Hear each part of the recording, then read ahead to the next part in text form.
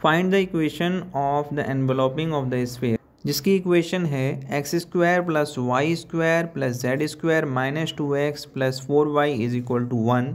Having its generator parallel to the line X is equal to Y is equal to Z is a first equation तो question में हमें इस fair की equation given दे रखी है।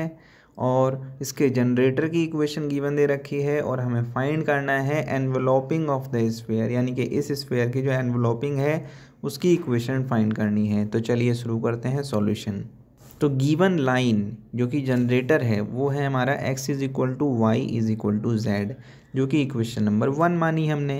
And equation of sphere जो है, वो है हमारा X square plus Y square plus Z square minus two X plus four Y is equal to one जो इक्वेशन नंबर टू मानी। ठीक है?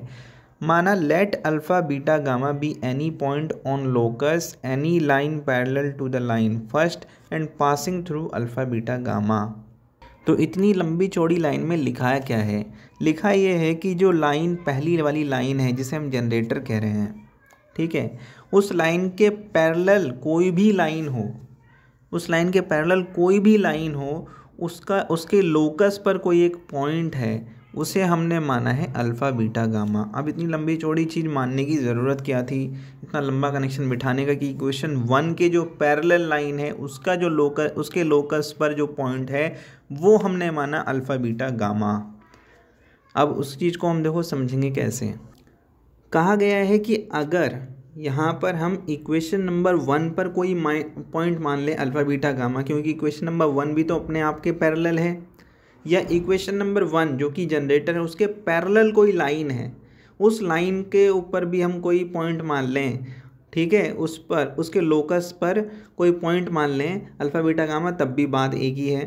तो बस यूँ कहा गया है कि हम बोल रहे हैं कि अल्फ़ा बीटा गामा जो है वो एक पॉइंट है, जो कि लोकस पर है, वो कोई भी लाइन पर हो, भले इक्वेशन नंबर वन हो या उसके पैरेलल कोई भी लाइन हो, उस पर कोई अगर पॉइंट मान रहे हैं, उसके लोकस पर अगर कोई पॉइंट मान रहे तो वो मान लेते हैं अल्फ़ा बीटा गामा और वो जो लोकस है, यानी कि वो जो पॉइंट है and passing through alpha beta gamma से पास होगा।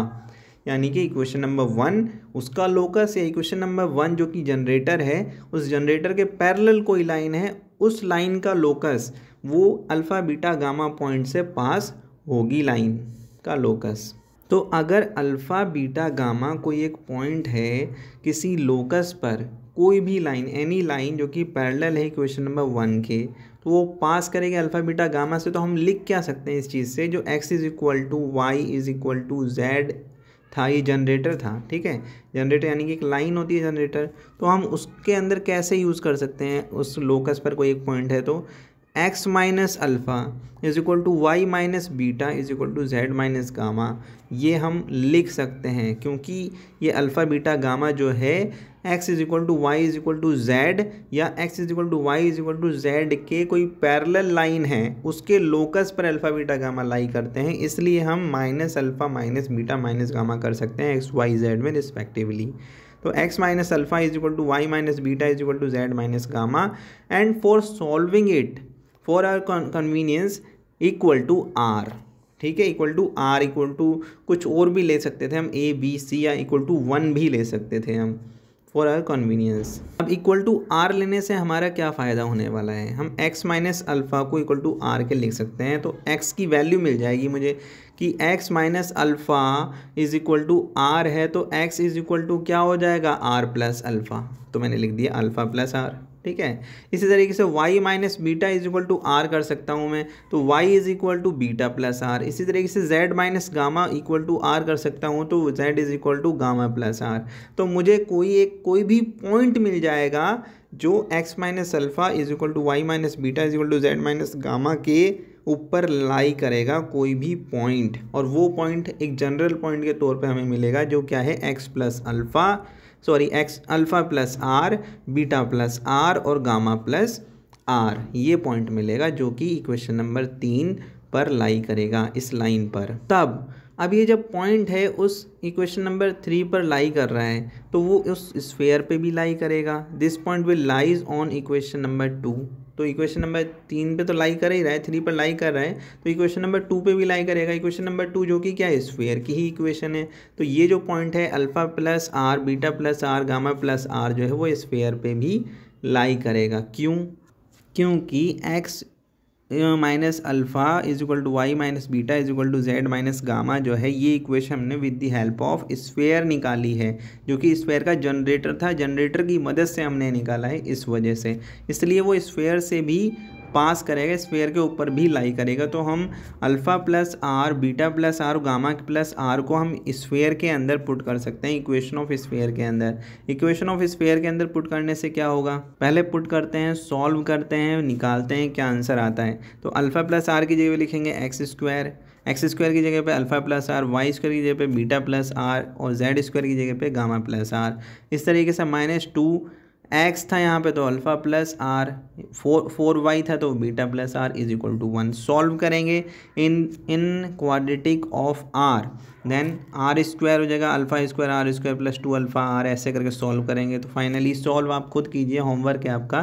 थ्री आर स्क्वायर बनेगा, यहाँ आर निकलेगा तो two alpha plus two beta plus two gamma plus two ये कॉमन आर निकालने के बाद अंदर रह जाएगा ये सारी चीज़ें। और फाइनली यहाँ पर जो होगा एक variable c a x plus b a a r square plus b r plus c के तौर पे तो ये सी वाला हिस्सा है यहाँ पर, ठीक है? ये यहाँ पर रह जाएगा इक्वल टू ज़ीरो कर देंगे। और ये क्वेश्चन नंबर फोर बोलेंगे, क्योंकि हमने यहाँ पर जो point alpha plus r beta plus r और गामा प्लस आर है, वो स्पेयर के अंदर पुट किया है। तो finally this is quadratic in r ये क्वेश्चन नंबर फोर है, वो क्वाड्रेटिक है आर में। For tangent the two values of r must be equal तो टेंजेंट के लिए जो दो वैल्यूज़ हैं आर की, वो इक्वल होंगी होंगी। यानी कि b square minus four a c is equal to zero होगा। D is equal to zero होगा। यानी कि जब रूट सेम होते हैं तो d is equal to zero होता है। याद कीजिए आप खुद। टेंथ क्लास के कंसेप्ट हैं तो b square minus four a c is equal to zero बोल देंगे हम। तो आगे सॉल्व करेंगे, यहाँ पर बी निकालेंगे। बी क्या है? वो है two alpha plus two beta plus two gamma b square ठीक है? माइनस फोर ए सी तो फोर्थ का फोर लिख दिया। ए क्या है? थ्री ठीक है? तो ये हो गया ट्वेल्व और सी क्या है? इतनी लंबी चौड़ी जो वेरिएबल्स के हैं वेरिएबल्स हैं वो। तो ये सी हो गया। B square minus four a c और इन रूट्स की मदद से हमारे पास आ जाता है लोकस अल्फ़ा बीटा गामा का लोकस क्योंकि यहाँ पर से हम टू कॉमन लेंगे तो बाहर फोर हो जाएगा और ये माइनस ट्वेल्व जो है वो इक्वल टू ज़ीरो है। ये इक्वल टू ज़ीरो है, ठीक है? ये इक्वल टू ज़ीरो है।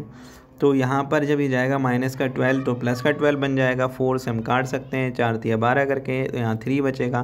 Finally x plus y plus z plus one का whole square is equal to three into max square plus y square plus z square minus two x plus four y minus one ये आ जाएगा हमारा locus of alpha beta gamma alpha beta gamma का locus तो एक बार फिर दोबारा से ओवरव्यू ले लेते हैं कि क्वेश्चन में हुआ क्या है। इस क्वेश्चन की जो पीडीएफ है, वो आपको डिस्क्रिप्शन लिंक में डिस्क्रिप्शन में इसका लिंक मिल जाएगा। आप पीडीएफ डाउनलोड कर सकते हैं, इसको अपने पेपर पे सॉल्व कीजिए और फिर दोबारा से कुछ समझने की कोशिश कीजिए। वैसे आपको समझ में आ गई होगी, उम्मीद करते हैं। तो यहाँ पर क्या है, सबसे पहले हमें एक लाइन दे रखा, दे रखी थी generator x is equal to y is equal to z sphere दे रखा था।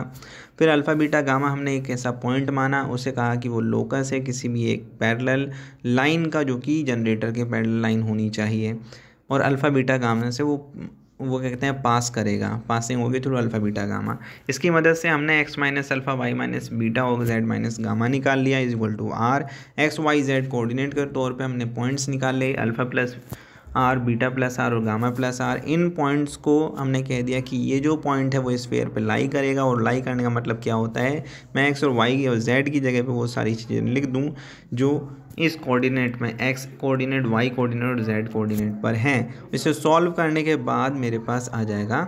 मुझे आर की फॉर्म में इन क्वाड्रेटिक इन आर मेरे पास ये इक्वेशन बन जाएगी। ये क्वाड्रेटिक है और टेंजेंट होने के लिए जो दो रूट्स हैं, वो इक्वल होना बहुत ज़रूरी है। इक्वल होने का मतलब होता है डी की वैल्यू बराबर ज़ीरो यानी कि डिस्क्रिमिनेंट बराबर zero b square minus four a c is equal to zero it means ये इक्वल टू ज़ीरो करने से मेरे पास आ जाएगा locus locus of alpha beta gamma जो कि कहलाएगा answer hence this is an locus of alpha beta gamma and finally alpha beta gamma की जो वैल्यूज़ हैं अल्फ़ा बीटा गामा की जगह पे हम एक्स वाई जेड लिख देंगे, क्योंकि वो लोकस है अल्फ़ा बीटा गामा का, और ये हमारा आंसर हो जाएगा. आपको ये वीडियो अच्छी लगी हो तो आप इसे लाइक करें, मेरे चैनल को सब्सक्राइब करें thanks for watching thank you very much